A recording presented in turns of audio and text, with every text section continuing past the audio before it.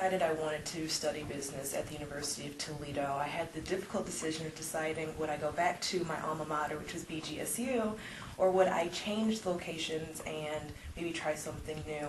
And the University of Toledo offered, I think, a comprehensive business program that would allow me to get the curriculum necessary to have uh, current experience with what's happening in the real world, and additionally have the programs and the uh, extracurricular activities that would essentially help me to develop myself as a business person. Uh, so I looked into the University of Toledo, spoke with some individuals here on campus, and I found that not only do they offer the business information that I needed in the business degree, they also had the areas of focus that included marketing, which was what I was mostly interested in and wasn't offered at other places I had looked into. I first heard about the Business Careers Program, I believe after receiving an email for um, a development program, and it was the how to mingle in a, uh, in a business environment um, uh, gathering. And so what we did was we learned, actually it was a, a business dinner etiquette uh, program. So a number of students met together, we dressed business casual, or business professional, and we had dinner, and we learned how to eat properly, learned how to talk while eating, and learned basically what things can be discussed while at dinner.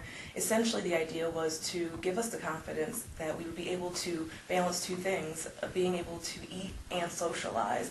In the meantime, maybe get a job, meet new people, network, and, um, and maybe solidify some relationships that we had had um, prior to that meeting.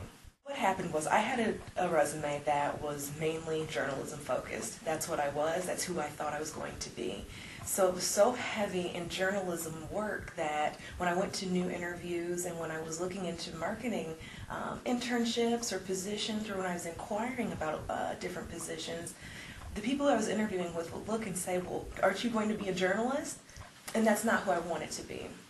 So Carol helped me to take exactly what I had done all of my experiences, and what she did was she helped me to refocus all of my talents and all of my skills so that they were more business focused and marketing focused. So she didn't change anything about what I had done. She really just made me seem like the person I was ready to become, which was more of a marketer and more of a business person. And it's an absolutely beautiful resume. I'm so proud of it. It's really been helpful for me since it's been completed. If I was going to give advice to somebody who wanted to obtain their MBA, I would absolutely tell them to reach out to the individuals in the Business Careers Program. I have had so much help. I've created friendships and, um, and really had the development that I need to become more of a business individual. And I think that people assume that going to college is about getting A's and getting good grades and sitting in class, but there's so much more involved with being involved in business especially. It is important that you have proper etiquette. It's important that you're networking. It's extremely important to have experience. And I do think that this uh, program does help myself and will help others to really develop themselves professionally and essentially get into the careers that they expect to be in. I just do highly encourage and think that it's important for any student, really in um, whether they're MBA or undergrad at this point, to seek as much assistance as they can.